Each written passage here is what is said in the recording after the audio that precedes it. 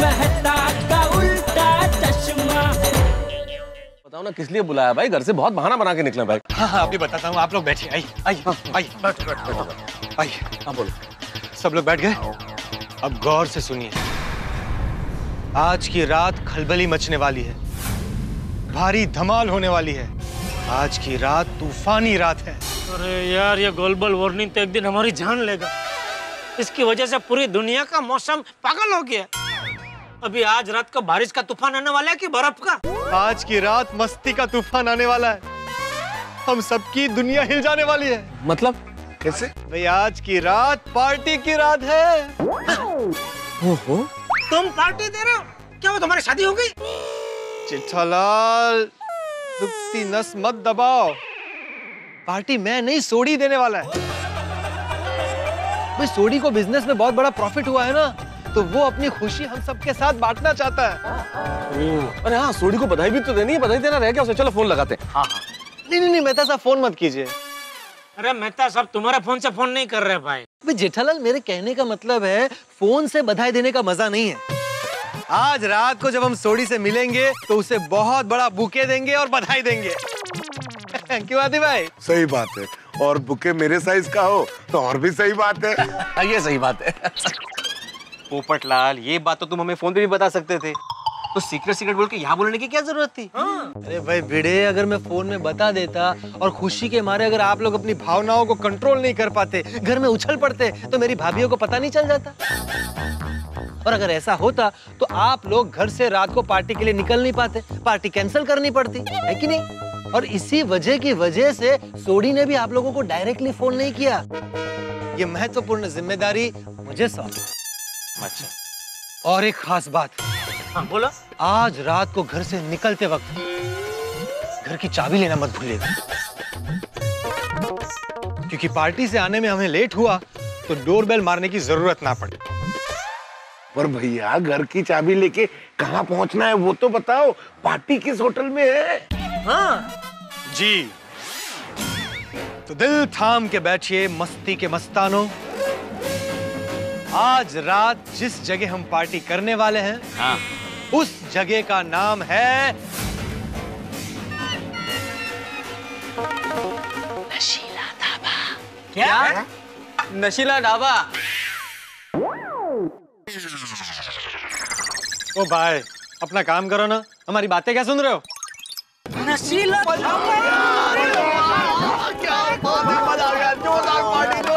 नहीं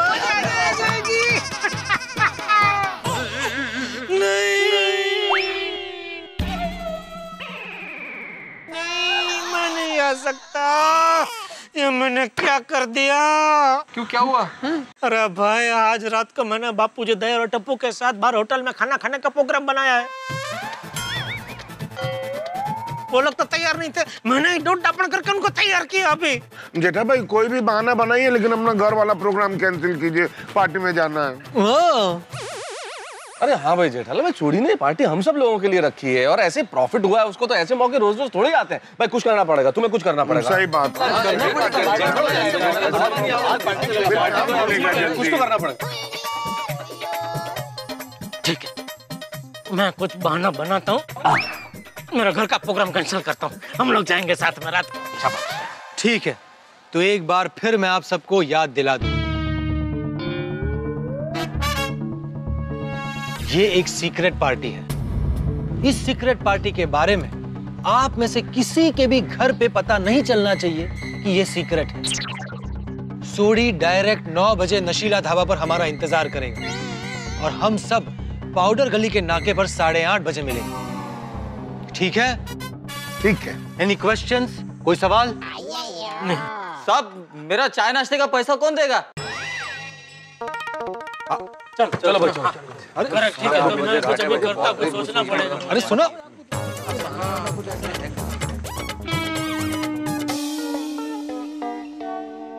क्या करूँ क्या करूँ? नशीला धाबा जाने के लिए क्या बहाना बनाऊँ? बापूजी और दया को सीधा फ़ोन करके बोल दूँ? जेठिया जेठिया! तेरी वजह से तेरी वजह से मैं अपने दोस्तों से मिलने नहीं गया। उन सबके इतने ताने सुने। और तू? तू नशीला ढाबा चला गया? आपने मेरे वीरा के सूट के लिए मुझे जाने नहीं दिया और आप खुद सूट बूट पहनकर नसीला ढाबा पहुँच गए। ये आपने क्या किया पापा? ये आपने क्यों किया पापा? क्यों? क्यों? आखिर क्यों? अरे क्यों? हम सब लोग इससे इतनी बातें क्यों कर रहे हैं? क्यों? ओ ला मेरी छड़ी ला। नहीं। क्या हुआ सेठ जी? क्या कोई बुरा सपना देखा? नहीं तो? तो फिर आप इतने ज़ोर से चिल्लाए क्यों? नहीं। अभी आप वहाँ क्या कर रहे थे? टीवी चेक कर रहा था। इसीलिए मैं चिल्लाया नहीं चेक मत करो। रहना तो बराबर चल रहा है भाई. क्या मैं अंदर आ सकती हूँ? बाउरी। हाँ हाँ मुझे पता है आपने मना किया है कि काम के वक्त दुकान पे नहीं आना चाहिए। हम्म, तो? लेकिन मेरी मजबूरी है इसीलिए आना पड़ा। क्या हुआ बावरी जी? क्या है ना बागेश्वर जी? मेरे मामा के चाचा के बेटे की बेटी को के के हॉस्पिटल में एडमिट किया है। वो बहुत सीरियस है। इसीलिए मैं आपसे मिलने आई हूँ। बाप रे। बाघा तो डॉक्टर भी है। हाँ। हाँ? मोबाइल का। मोबाइल का डॉक्टर तो मैं हूँ ही ना सेठ जी।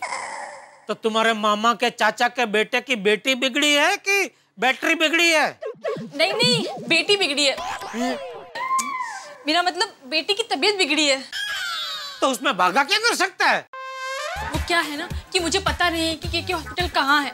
मतलब कहाँ है ये पता है लेकिन वहाँ तक कैसे पहुँचे ये नहीं पता। तो आप बता सकते हैं कि मैं वहाँ तक कैसे पहुँचूँ? हाँ हाँ। वो वो कैसे बताऊँ? मुँह से बता भाई। नहीं सेठ जी वो केके हॉस्पिटल का रास्ता बहुत ही अटपटा है ना? बहुत सारे लेफ़्ट राइट लेफ़्ट राइट है। अगर एकाध लेफ़्ट भी बावरी जी चूक गई तो बेचारी पूरा दिन घूमते रहेगी। बागेश्वर जी आप ही मुझे वहाँ तक छोड़ाइए ना प्लीज़ क्या? नहीं नहीं नहीं नहीं बावरी जी।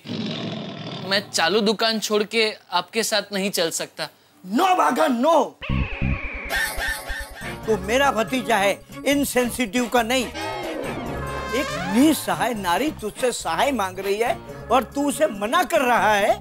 कहाँ गई तेरी इंसानियत? अरे सेठ जी के सामने क्या देख रहा है? ये इंसानियत के पाठ हमने सेठ जी से ही सीखे हुए हैं। उनके सामने उनकी सिखाई हुई बात का पालन नहीं करेगा तो इलेक्ट्रॉनिक मार्केट में सेठ जी की क्या इज़्ज़त रह जाएगी? अरे कौन खरीदेगा हमारे यहाँ से वॉशिंग मशीन टीवी फ्रिज बताइए सेठ जी मैं क्या कुछ गलत बोल रहा हूँ?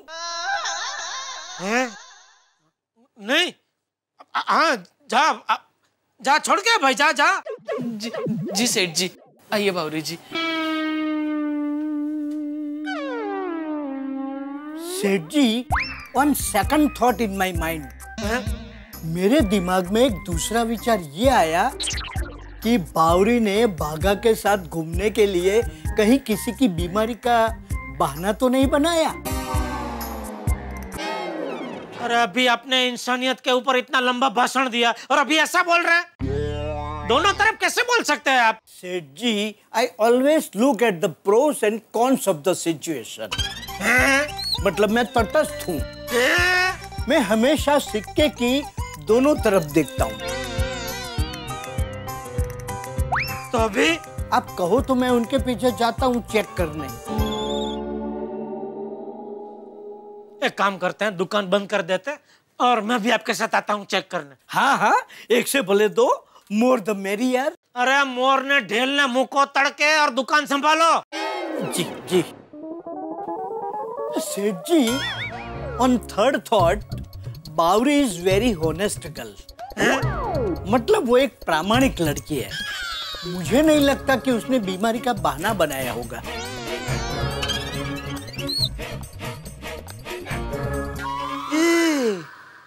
बाहुरी ने भले बहाना ना बनाया हो, लेकिन मैं तो बीमारी का बहाना बना ही सकता हूँ।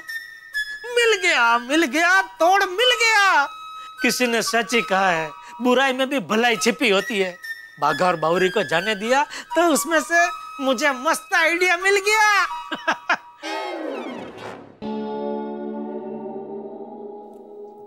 अरे नड्डू काका। जी सेठ जी। वो गोडाउन में एलसीडी कितने पड़े होंगे? अंदाजन। नहीं नहीं अंदाज़ा नहीं मुझे एग्जैक्ट आंकड़ा बताओ। जी सेठ जी मैं अभी गोडाउन में जाकर चेक करके आपको सही बताता हूँ। हम्म, ठीक जाइए। अच्छा नटू काका। जी। आप जा ही रहे थे काम करो ना वॉशिंग मशीन और फ्रिज का भी स्टॉक देख लीजिए। जी सेठ जी।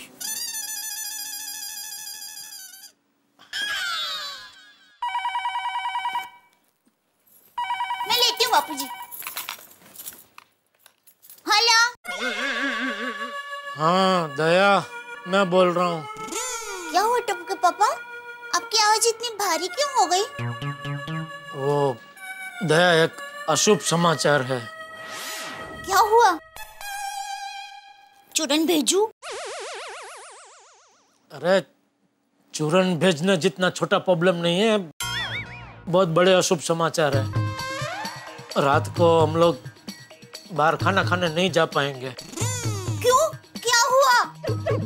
क्या हुआ बहू बाबूजी टप्पू के पापा कह रहे कि आज हम बाहर खाना खाने के लिए नहीं जा पाएँगे। ए, ला मुझे फ़ोन दे। हाँ। या बबू चक तुझ में कुछ अक्कल बक्कल है कि नहीं? तेरी वजह से मैंने अपने दोस्तों से मिलने का प्रोग्राम कैंसिल कर दिया। अब तू अपना बाहर खाना खाने जाने का प्रोग्राम कैंसिल कर रहा है। तेरा कोई दूसरा प्रोग्राम नक्की हो गया है क्या? न, नहीं नहीं बापूजी ऐसा कुछ नहीं। आप मेरी बात तो सुनिए। दरअसल वो मेरे एक दोस्त के पिताजी चल बसे तो मुझे वहाँ जाना पड़ेगा। ओ। अच्छा अच्छा। ठीक है। ले बहू से बात कर। हम बोलिए टप्पू के पापा क्या हुआ? अरे वो बापूजी को बताया मैंने अभी। वो एक मेरे दोस्त के पिताजी चल बसे हैं तो मुझे वहाँ जाना पड़ेगा रात को। कौन से दोस्त? वो हमारे व्यापारी सर्कल के हैं तो नहीं जानती उनको। अच्छा अच्छा। हाँ तो मैं रात को घर आऊँगा कपड़े बदलूँगा और निकल जाऊँगा हाँ? तो रात का मेरा खाना भी मत बनाना ठीक है? हाँ ठीक है। Thank you Bawre thank you idea काम कर गया।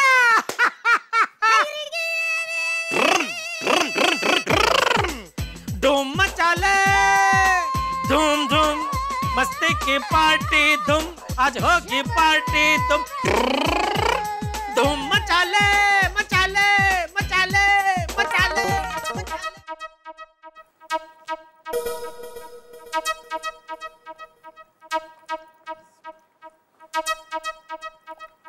माधवी अरे कितनी कितनी कितनी काम करते माधवी तुम कितना काम करती हो?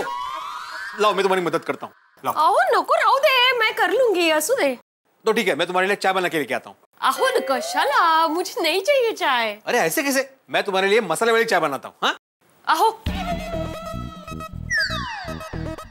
क्या हुआ है आपको? तबीयत ठीक है ना आपकी? क्यों? क्या ये चाय वाय का है आहे का है?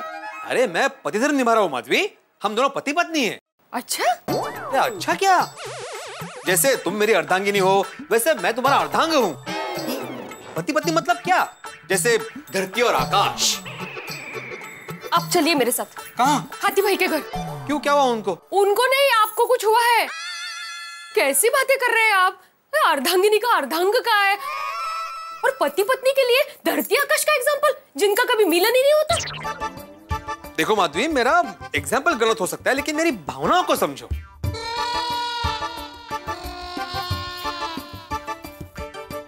क्या बात क्या है? सीधा पॉइंट पे आइए। नहीं कुछ खास नहीं अ, वो अभी रास्ते में पिताजी मिले थे। चिपड़ू से पिताजी आए हैं।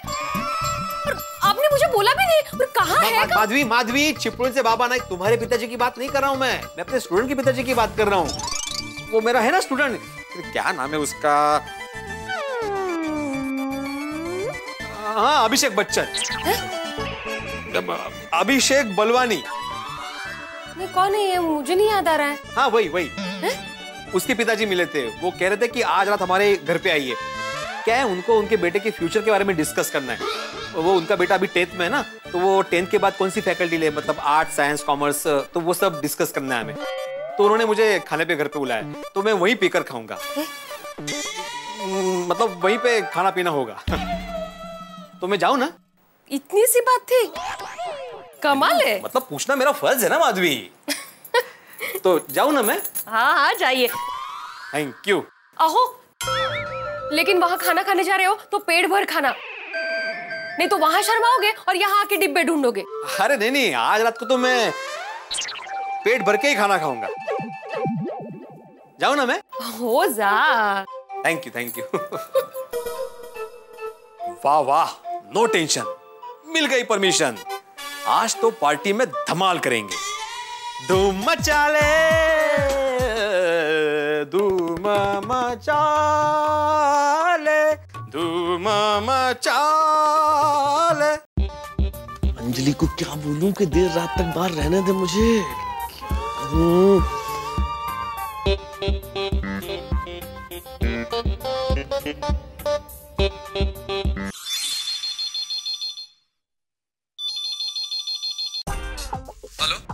अरे व्हाट अ सरप्राइज़ तारक।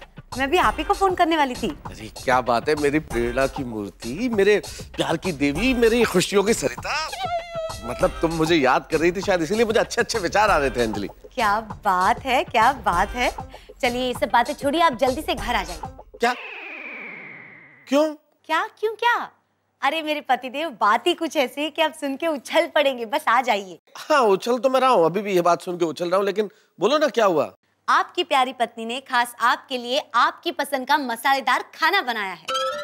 अफलातुन चीज़ कैप्सिकम करी स्टफ़ पराठा हरी भिंडी गुलाब जामुन एंड रबड़ी। सैलेड के साथ स्पेशली तारक मेहता के लिए। गुलाब जामुन भी? अच्छा ये इतना सब कुछ तुम आज मेरे लिए बनाने वाली हो अंजलि? हाँ। खुश ना? अरे खुश नहीं फुस। खुश अरे भाई आज मुझे आते आते देर हो जाएगी घर पे। क्या? अरे भाई बॉस के साथ मेरे प्रमोशन की मीटिंग है। क्या बात कर रहे तारक आपका प्रमोशन? और अपने प्रमोशन के लिए तो मैं इनकार नहीं कर सकता ना। बॉस है मीटिंग कितनी देर चले कौन बता सकता है? तो ये जो आज तुम जो भी बनाने वाली हो इसको कल तक पोस्टपोन कर देते ना कल खाऊँगा मैं। सॉरी तारक आज ही मसालेदार फ़ूड डे था। कल से फिर से रूटीन करेला जूस सूप सैलड ठीक है जैसा तुम कहो लेकिन देर तो हो ही जाएगी आते आते। ओके? हाँ। देर रात की पार्टी का इंतज़ाम तो हो गया धूम धूम। तुम आज रात को बाहर जाने वाले हो? हाँ वो बबीता क्या है आज लैब में एक एक्सपेरिमेंट है चमगादड़ पर। किस पर? च- चमगादड़ एज इन बैट्स हाँ। तुम चमगादड़ पे क्या एक्सपेरिमेंट करने वाले हो? यही कि ये चमगादड़ हमेशा ऐसा उल्टा क्यों रहते हैं? सीधा क्यों नहीं रहते?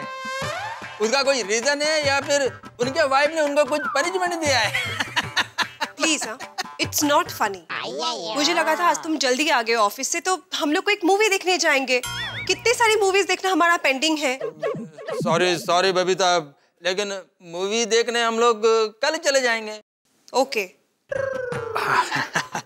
पर हाँ बबीता वन मोर थिंग मैं अभी जाऊँगा ना तो डायरेक्टली रात को दो बजे के बाद आऊँगा ओके इतना लेट वो क्या ना बबीता एक्सपेरिमेंट में कितना टाइम लगेगा, वो मैं बोल नहीं सकता ना।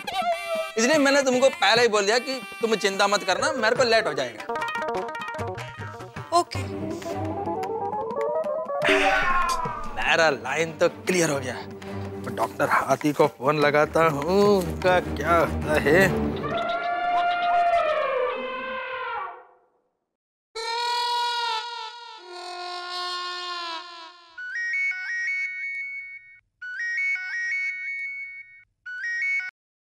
हाँ बोलिए अय्यर भाई।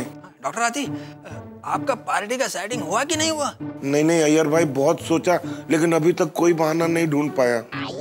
लेकिन आप चिंता मत करो मैं जाने से पहले कोई ना कोई बहाना ज़रूर ढूंढ लूँगा। देखिए जो भी बहाना बनाना है वो एकदम स्ट्रांग बनाना। पकड़े मत जाना वरना हम सब लोग पकड़े जाएँगे और पार्टी का पूरा प्लान चौपट हो जाएगा। सही बात है। डॉक्टर हाथी मैं फ़ोन रखता हूँ। बबीता ने हमारा बात सुन लिया तो सब गड़बड़ हो जाएगा। ओके? सही बात है, सही बात है। क्या बहाना बनाऊँ, कुछ समझ में नहीं आ रहा। हे भगवान, पति चाहे कितना ही बहादुर क्यों ना हो, अपनी पत्नी के सामने झूठ बोलने से क्यों डरता है? कोमल से कैसे झूठ बोलूँ? हे भगवान, कोई ऐसा रास्ता निकालना कि हमारी पत्नी हमें पकड़ न ले। दोस्तों, पार्टी शार्टी करने के लिए हम गोकुलधाम के सभी मर्दों ने अपनी अपनी बीवियों से बहाने बना लिए लेकिन हाथी भाई अभी तक कोई बहाना नहीं तलाश पाए हैं। कहीं ऐसा ना हो कि हम सारे लोग पार्टी के लिए चले जाएँ और हाथी भाई घर पे ही रह जाएँ। लेकिन इससे बढ़कर एक संभावना और है, ये गोकुलधाम का जो महिला मंडल है ना, ये बहुत स्मार्ट है। अगर इन्होंने हमारी इस चोरी की पार्टी, यानी कि जो हम बहाने बना रहे उसे पकड़ लिया तो भाई अपनी अपनी बीवियों से झूठ बोलना उतना ही कठिन है जैसे किसी रस्सी पे चलना। रस्सी पे चलने का मतलब है कि आपका संतुलन बिगड़ा नहीं कि आप मुँह के बल गिरे नहीं। और ठीक ऐसा ही बीवियों के सामने भी होता है। अगर आपका झूठ पकड़ा गया तो फिर आप मुँह के बल गिरेंगे। अब देखना यह है कि क्या होता है गोकुलधाम में। हमारी पार्टी शार्टी होती है या कहानी में कोई नया ट्विस्ट आता है? जानने के लिए देखते रहिए मेरे साथ। तारक मेहता का उल्टा चश्मा।